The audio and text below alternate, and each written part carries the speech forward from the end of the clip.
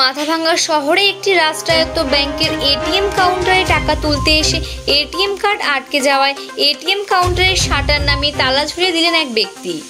তার নাম রতন কুমার রায় মাথাভাঙ্গা ন নম্বর ওয়ার্ডের বাসিন্দা। রতনবাবু বলেন, এটিএম কাউন্টারে টাকা তুলতে এসেছিলেন, কিন্তু টাকা তো বের হওয়া দূরের কথা, আমার এটিএম কার্ড আটকে রয়েছে, তাই এটিএম কাউন্টারে তালা ঝুলিয়ে দিলাম। এবং কাউন্টারের সামনে নাম ও নম্বর লিখে দিয়েছি। এটিএম কর্তৃপক্ষ এসে তার সাথে যোগাযোগ করলে তিনি তালা খুলে দেবেন। এর আগেই মাথাভাঙ্গা শহরে একটি ঘটনা ঘটেছিল। মাথাভাঙ্গা শহরে বেশ কিছু এটিএম থাকলেও বেশিরভাগ এটিএমে টাকা তুলতে এসে হয়রানির শিকার হন মাথাভাঙ্গাবাসী।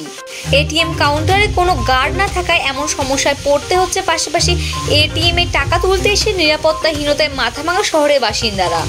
এটা হচ্ছে আমি টাকা তুলতে আসি এটিএম দেখি এটিএম দিয়ে তখন ডিসপ্লেতে শো করাচ্ছিল।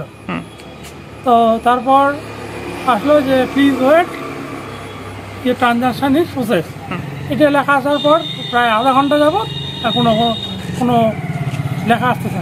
মানে তখন আমি ক্লিয়ার করে ক্যান্সেল করলাম যে আমার কার্ডটা বের করি। তারপর দেখি কিছুই হয় না ওই একটা অ্যারো চিহ্ন এসে মানে ডিসপ্লেতে একটা অ্যারো চিহ্ন আসে আর কোনো হয় না। সেই ক্লিয়ারও হয় না ক্যান্সেলও হয় না। কার্ডটাও বেরোয় না আমার। আচ্ছা। এটিএম কার্ডটা। তো এই অবস্থা এখন আশেপাশের লোকজন বলতেছে একটা তালাল তালা লাগা যাও। কালকে যখন ওদের লোক আসবে তো তোমাকে ডাইকে তোমার কার্ড দিয়ে দেবে ইয়ে দেবো। আচ্ছা। এটুকু। ইমার্জেন্সি থাকতো তাহলে সেই ক্ষেত্রে তো আপনাকে সেটাই তো আমি চিন্তা করতেছি। যে এটা কী ব্যাপার করতো ইমার্জেন্সি থাকলে। আচ্ছা। মানে মাথা ভাঙার কি মানে সমস্ত এটিএমই কি প্রায় এরকম মানে সমস্যার সম্মুখীন হতে হয়? হ্যাঁ আশেপাশে শুনতেছি তাই নাকি হচ্ছে? আচ্ছা। আমি তো বেশি একটা এটিএমে তো কাজ টাকা তুলি না আমি ওই যে অন্য ইয়েতে ব্যাংকেই ব্যাংকেই তুলি। মানে মাথা ভাঙা এটিএম এর সমস্যা একটা তাহলে দীর্ঘদিনের সমস্যা বলাই যায় নাকি? হ্যাঁ হ্যাঁ হ্যাঁ।